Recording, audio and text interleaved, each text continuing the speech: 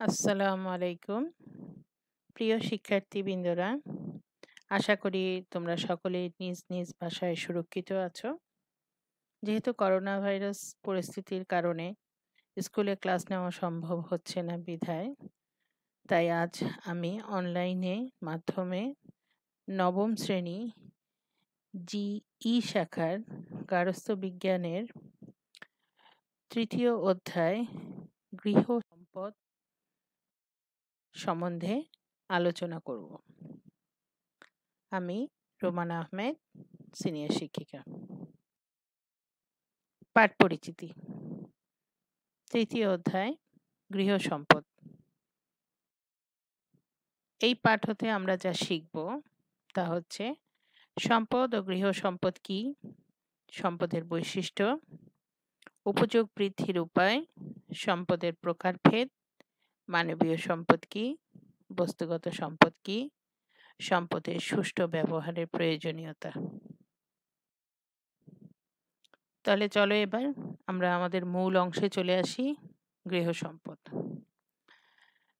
প্রতিটি পরিবারই কিছু না কিছু সম্পদ থাকে। একটি পরিবারের সর্বাপেক্ষা বড় সম্পদ হচ্ছে মানুষ। এবং এই মানব সম্পদ পরস অপরাপর বস্তুগত সম্পদ সৃষ্টির হাতিয়ার হিসাবে কাজ করে। সম্পদ, গৃহ ব্যবস্থাপনার মৌলিক উপকরণ। সম্পদ ছাড়া কোনো লক্ষ্য অর্জন সম্ভব হয় না।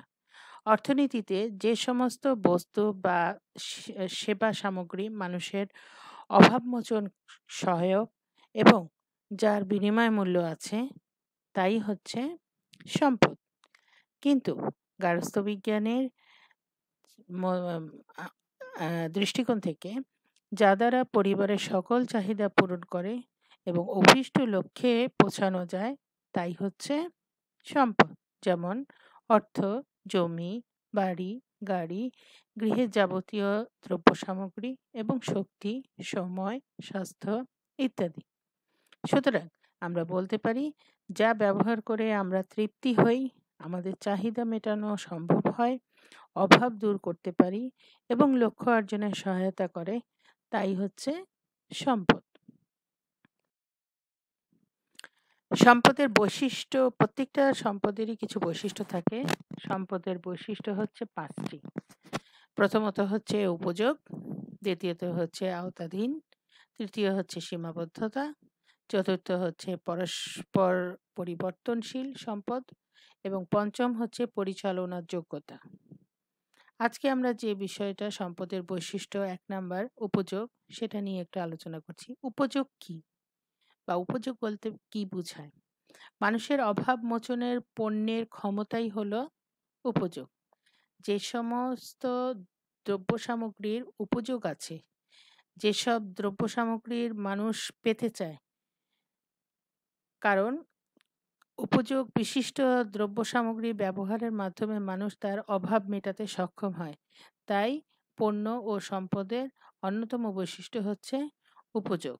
উপযোগটা হচ্ছে, যেমন তোমাদের একটা উদাহরণ দিয়ে বলতে পারি, পিপাসা পেলে আমরা কি করি? পানি খাই। এই পানিটাই হচ্ছে এখানে উপযোগ বৃদ্ধি পায়। আবার অনেক সময় আমরা কি দেখি? যে ক্ষুধা পেলে আমরা খাদ্য গ্রহণের সুযোগ পাই। এই ক্ষুধা খাদ্যটাই হচ্ছে এখানে উপযোগ। সুতরাং এটাই উপযোগ বলতে বোঝাচ্ছে যে অভাব মোচন করবে এবং চাহিদা পূরণ করবে। দ্বিতীয়টি হচ্ছে, এরপরে হচ্ছে চারটি উপায়ে আমরা উপযোগের বৃদ্ধি করতে পারি। কি কি উপায়? আমরা সেটা তাহলে এখন জেনে নিই। একটি হচ্ছে আকৃতির পরিবর্তন করে, দ্বিতীয়টি হচ্ছে সময় উপযোগী ব্যবহার করে, তৃতীয়টি হচ্ছে স্থানান্তর দ্বারা তা আমরা আগে পড়ে নিচ্ছি আকৃতি পরিবর্তন করে। যেমন আমরা চালকে যদি সিদ্ধ করি, তাহলে সেখানে ভাত রান্না করা যায়। যখন গুঁড়া করে পিঠা তৈরি করি, তখনও এটার উপযোগিতা বৃদ্ধি পায়। অর্থাৎ একই উপকরণ বিভিন্ন আকৃতির পরিবর্তন খালি ঘটছে এখানে। দ্বিতীয়টি হচ্ছে সময় উপযোগী ব্যবহার। আমরা ব্যাংকে অর্থ সঞ্চয় করি। যদি জমি বা বাড়ি ক্রয়ের ক্ষেত্রে এই অর্থ ব্যবহার করতে পারি, তবেই অর্থের উপযোগ বৃদ্ধি পায়।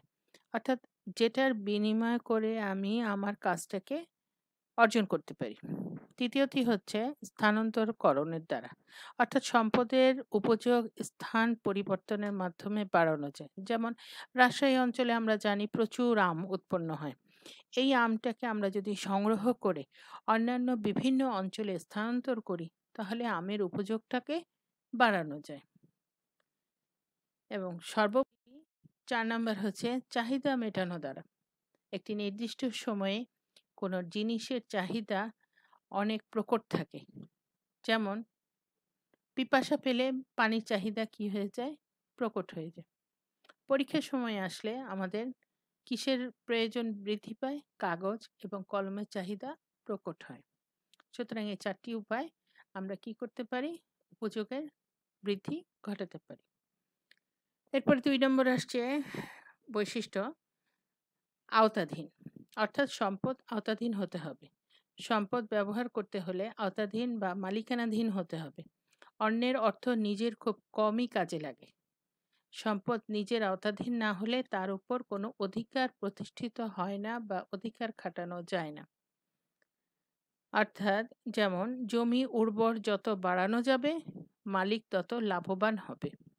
ব্যাংকের গচ্ছিত অর্থ প্রয়োজনের সময় ব্যবহার করতে না পারলে সেই অর্থ কাজে আসে না। সুতরাং এটাকেই বোঝানো হচ্ছে যে আওতাধীন এর পরের বৈশিষ্ট্য হচ্ছে সম্পদের সীমাবদ্ধতা। সীমাবদ্ধতা সম্পদের অন্যান্য প্রধান বৈশিষ্ট্যের মধ্যে একটি। সম্পদ গুণগত বা পরিমাণগত দিক থেকে সীমাবদ্ধ। যেমন, শক্তি গুণগত দিক দিয়ে সীমাবদ্ধ এবং সময় পরিমাণগত দিক থেকে সীমাবদ্ধ। চার নম্বর বৈশিষ্ট্য হচ্ছে সম্পদের, সম্পদ পরস্পর পরিবর্তনশীল। অর্থাৎ পরস্পর পরিবর্তন আমরা কয়েকটি ভাগে, ভাবে বলতে পারি। যেমন বিকল্প সম্পদ। বিকল্প সম্পদ একটার পরিবর্তে অন্যটি ব্যবহার করা যায়। যেমন ভাতের পরিবর্তে আমরা কি করতে পারি? রুটি। ভাতেও যেমন আমাদের কার্বোহাইড্রেট আছে, রুটিতেও আমাদের কার্বোহাইড্রেট আছে। সুতরাং পরিবেশ রক্ষার জন্য পলিথিনের পরিবর্তে আমরা কাগজ বা কাপড়ের ব্যাগ ব্যবহার করতে পারি। পরবর্তী আসছে বহুবিধি ব্যবহার। একই সম্পদকে বহুবিধ কাজে ব্যবহার করা যায়। যেমন খাবার টেবিল চেয়ারকে পড়াশোনার কাজেও ব্যবহার করা যায়। আলোচনার ক্ষেত্রেও এই চেয়ার টেবিলকে ব্যবহার করা যায়। কাপড় ইস্ত্রি করার ক্ষেত্রেও এই টেবিলকে ব্যবহার করা যায়। তারপরে আসছে বিনিময়। সম্পদ বিনিময়যোগ্য যেমন, টাকার বিনিময়ে আমি কোনো পণ্য কিনছি। আমি টাকা দিলাম, সে আমাকে এক কেজি চাল দিল। এইভাবে। রূপান্তরযোগ্য একটা সম্পদকে আরেকটি সম্পদে রূপান্তর করা যায়। যেমন পুরানো একটি শাড়ি হয়ে গেছে পরতে পারছি না।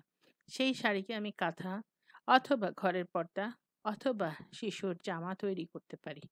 অর্থাৎ এখানে এতে সম্পদের ব্যবহার বৃদ্ধি পাচ্ছে এবং সর্বশেষ হচ্ছে সৃষ্টি। একটা সম্পদ ব্যবহার করে অন্য সম্পদ সৃষ্টি করা যায়। কীভাবে? যেমন একটি জমিতে চাষ করে ওই চাষ করার পরে অন্য জমিতেও আমরা কি করতে পারি? সেই ওই জমিতে অন্য কোনো ফলন চাষ করতে পারি। পঞ্চম বৈশিষ্ট্য হচ্ছে পরিচালনার পরিচালনা যোগ্যতা। অর্থাৎ সম্পদের সুষ্ঠু ব্যবহারকেই পরিচালনা বলা হয়। মানুষ সচেতন বা অবচেতনভাবেই হোক, ব্যবস্থাপনা পদ্ধতি অনুসরণ করে থাকি। যেমন বাড়ি তৈরির ক্ষেত্রে সময়, জ্ঞান, দক্ষতা, অর্থ ইত্যাদি সম্পদের ব্যবহার করা হয়।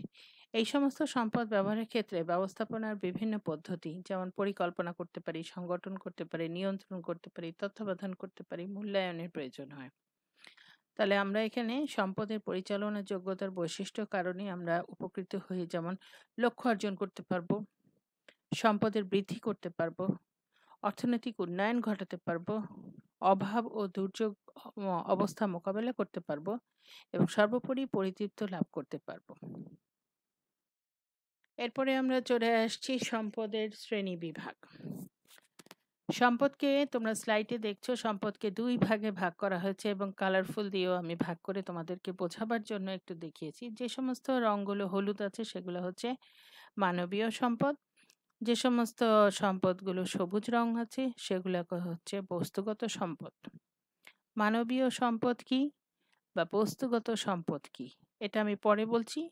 তার আগে জেনে নেই। মানবীয় সম্পদগুলো হচ্ছে সময়, শক্তি, জ্ঞান, দৃষ্টিভঙ্গি, সামর্থ্য বা দক্ষতা। আর বস্তুগত সম্পদ হচ্ছে অর্থ, জমি, ঘরবাড়ি, অলংকার, সামাজিক ও রাষ্ট্রীয় সুবিধাদি। মানবীয় সম্পদ। যা মানুষকে গুণ, চর্চা বা অনুশীলনের মাধ্যমে বৃদ্ধি পায়, তাকে মানবীয় সম্পদ বলে। যেমন সময়, বিদ্যা, শক্তি, দক্ষতা, জ্ঞান ইত্যাদি। প্রতি পরিবারে একাধিক সদস্য থাকে। প্রত্যেক সদস্যদের সামর্থ্য অনুযায়ী সময়, শক্তি, জ্ঞান, দক্ষতা যদি সঠিকভাবে সুষ্ঠুভাবে ব্যবহার করে তবে পরিবারটি সুস্থ সুষ্ঠু ও সুন্দরভাবে পরিচালিত হয়ে লক্ষ্য অর্জন করতে পারবে। পরিবারের সদস্যদের দক্ষতা, পারদর্শিতা, মনোভাব গৃহ ব্যবস্থাকে সহজ করে এবং অমানবীয় বা বস্তুগত সম্পদ অপচয় হ্রাস করে এবং বৃদ্ধি ঘটায়, বৃদ্ধি সাধন করে। যেমন বাজেট করা চলে, বাজেট করে পর চললে অর্থের সুষ্ঠু ব্যবহার পরিচালনা করা সম্ভব হয়। অর্থের অপচয়ও হ্রাস পায়। অর্থাৎ যে সম্পদগুলো আমরা বিতরণ করতে পারি না, নিজেদের মধ্যে থাকে, অদৃশ্যমান দৃশ্য দেখা যায় না, কাউকে দান করা যায় না, এটা পরিমাপযোগ্য নয়, তাকেই বলা হচ্ছে মানবীয় সম্পদ।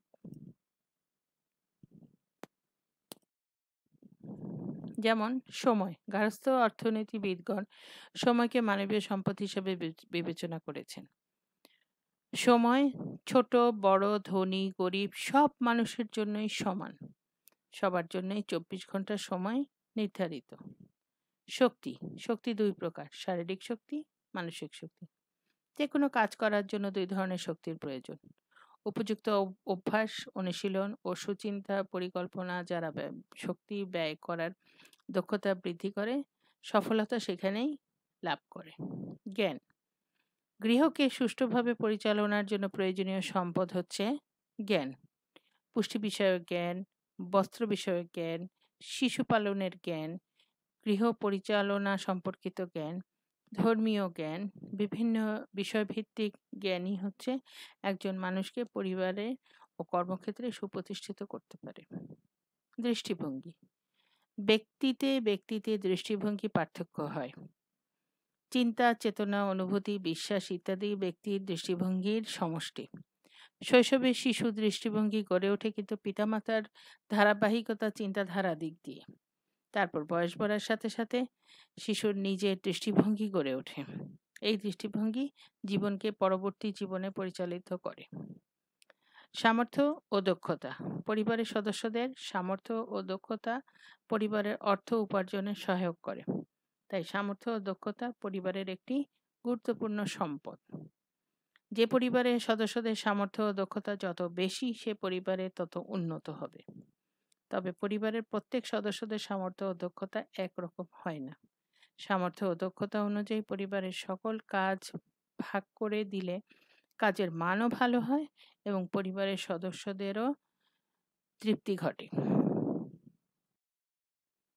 এরপরে আমরা চলে আসছি বস্তুগত সম্পদ। অর্থাৎ যে বস্তু বা সেবা চাহিদা পূরণের সহায়ক, তাই হচ্ছে বস্তুগত সম্পদ। যেমন স্লাইডের মধ্যে তোমরা দেখছ, টাকা, পয়সা, বাড়ি, গাড়ি ইত্যাদি। আবার সামাজিক ও রাষ্ট্রীয় সুবিধা দিয়েও যাচ্ছে যেমন রাস্তাঘাট, বাজার, স্কুল, কলেজ, পরিবহন সুবিধা ইত্যাদি আমাদের চাহিদা পূরণ করে এবং গৃহ গৃহজীবনকে কি করে? সহজ করে।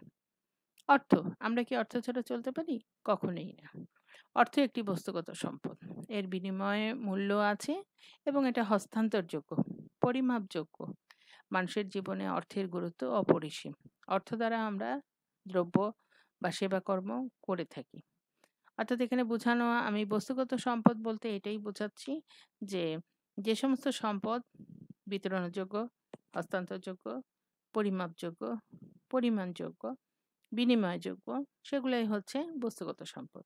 এরপরে দেখো, স্লাইডের মধ্যে জমি, বাড়ি ও অলংকার। এর বিনিময় মূল্য আছে। পরিমাপ করা যায় মালিকাধীন হস্তান্তর করা যায়। তবে এর ব্যবহারের সুবিধা পরিকল্পনার প্রয়োজন। অপরিকল্প অপরিকল্পিতভাবে সম্পত্তি গড়ে তুললে দুর্ভোগের সৃষ্টি হয় এবং সর্বশেষ হচ্ছে সামাজিক ও রাষ্ট্রীয় সুবিধা। সমাজ থেকে আমরা যে সমস্ত সুযোগ সুবিধা লাভ করি, তাই হচ্ছে সামাজিক সম্পদ। অবশ্যই আমরা ব্যবহার করি সামাজিক সম্পদগুলো, যেমন রাস্তাঘাট, যোগাযোগ ব্যবস্থা, বিদ্যুৎ, গ্যাস, স্কুল, কলেজ, বাজার ইত্যাদি রাষ্ট্রীয় ও সামাজিক সুবিধার অধিকারের সূত্রে মানুষ পেয়ে থাকে। পার্ক, বিনোদন কেন্দ্র ইত্যাদি পারিবারিক জীবনের একঘেমিতে কি করে আমাদের? দূর করে। এইগুলো একটি দেশের জনগণ অধিকার সূত্রে ভোগ করার সুযোগ পেয়ে থাকে। এরপরের যে আমরা স্লাইডে দেখছি যে সম্পদের সুষ্ঠু ব্যবহারের প্রয়োজনীয়তা। আমরা সম্পদ ব্যবহার করব। ব্যবহারের মূল উদ্দেশ্য হলোই এর ব্যবহার দ্বারা সর্বোচ্চ পরিতৃপ্তি লাভ করা এবং লক্ষ্য অর্জন করা। সেই সুবাদে আমাদের এখানে প্রয়োজনটা কেন হচ্ছে সেটা আমরা কয়েকটি পয়েন্টের মাধ্যমে একটু তোমাদের বোঝাতে চেষ্টা করছি। সম্পদের সুষ্ঠু ব্যবহার পরিবারের আয় বাড়ায়, বাড়াতে, ব্যয় হ্রাস করতে এবং অর্থ সঞ্চয় করতে সহায়তা করে। সম্পদের সুষ্ঠু ব্যবহারের ফলে সম্পদের সরবরাহ বৃদ্ধি পায়। সম্পদের সুষ্ঠু ব্যবহারে মানবীয় ও অমানবীয় বা বস্তুগত সম্পদের সুষম বন্টন হয় এবং তদুপরি সর্বশেষ হচ্ছে সম্পদের আয়ু বাড়াতে সম্পদের সুষ্ঠু ব্যবহার প্রয়োজন। তাহলে তোমরা অবশ্যই বুঝতে পেরেছ সম্পদ কি, সম্পদ কাকে বলে সম্পদের শ্রেণি বিভাগ সব কিছু যেহেতু করোনা ভাইরাসের কারণে আমরা এখন ক্লাস নিতে পারছি না, সুতরাং আমরা অনলাইনে ক্লাসের মাধ্যমে একটু পড়াগুলো শেষ করতে পারি, ঘরে বসে না থেকে, কারণ স্কুল খোলা মাত্রই আমাদের ক্লাস আবার স্বাভাবিক গতিতে চলবে। সুতরাং আমি এই চ্যাপ্টারের উপর একটি ছোট বাড়ি কাজ তোমাদের দিলাম। তোমরা তো অনুশীলনীটা ফলো করবেই। কাট ইয়ে সৃজনশীল প্রশ্ন। তারপরও তোমাদের একটু বোঝার জন্য বা ছোট ছোট প্রশ্ন আকারে বাড়ি কাজ দিয়ে দিচ্ছি। স্লাইডের মধ্যে দেখো এই বাড়ি কাজের প্রশ্নগুলো তোমরা তুলে নাও। এক নাম্বার হচ্ছে উপযোগ কি? আমি তোমাদের ভালো করে বুঝিয়েছি। দুই নাম্বার হচ্ছে সম্পদের সীমাবদ্ধতা বলতে কি বোঝায় ব্যাখ্যা করো। তিন নাম্বার হচ্ছে সম্পদ পরস্পর পরিবর্তনশীল কথাটির তাৎপর্য ব্যাখ্যা করো। এবং সর্বোপরি হচ্ছে কোন সম্পদের কোন ধরনের সম্পদ হস্তান্তরযোগ্য বিশ্লেষণ করো। এটা অবশ্যই তোমরা একটু গভীরভাবে চিন্তা করে শেষের প্রশ্নের উত্তরটি তোমাদেরকে কিন্তু দিতে হবে। কোন ধরনের সম্পদ হস্তান্তরযোগ্য বিশ্লেষণ করো? ঠিক আছে? তাহলে শিক্ষার্থী বন্ধুরা, কেমন লাগল তোমাদের অনলাইন ক্লাস আশা করি ভালো লেগেছে। তাহলে এবার আজকের মতো আমাদের অনলাইন ক্লাস এখানেই বিদায় নিচ্ছি।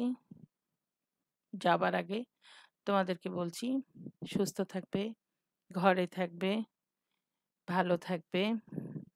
হাত ভালো করে সাবান দিয়ে ঘন ঘন অন্তত বিশ মিনিট ধুবে এবং হাসি মুখে থাকবে। করোনা ভাইরাস যাদের হয়েছে তাদের জন্য দোয়া করবে এবং তাদেরকে ভালো রাখার জন্য তোমরা সবসময় হাস্য উজ্জ্বল মুখে তাদেরকে স্বাগত জানাবে। আজকে তাহলে এখানেই শেষ। খোদা হাফেজ। আসসালামু আলাইকুম।